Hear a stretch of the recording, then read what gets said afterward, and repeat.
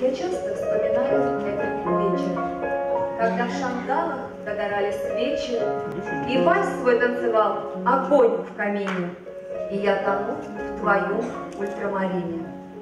Тихонько музыка играла, ты, глядя мне в глаза, люблю, сказала, и как бы в подтверждение слов твоих огонь исполнил танец для двоих. Красивый, яркий, бунтарский, успокаивающий, страстный. Пожалуй, ни одно слово не наберет столько эпитетов, как слово «огонь». Хотя нет, я ошибаюсь. Сегодня гораздо больше лестных характеристик я бы дала своим коллегам. Ведь при постановке и репетициях танца огня они превзошли самих себя и доказали, что могут держать в руках не только лист бумаги и ручку.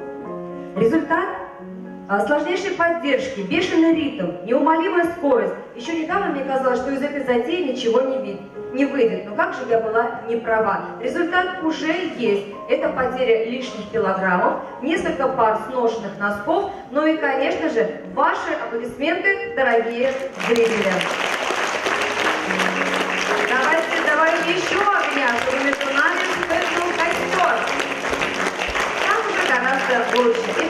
Встречайте бурными овациями хореографический коллектив «Мамадыш Информ» и наш танец огня. Thank you.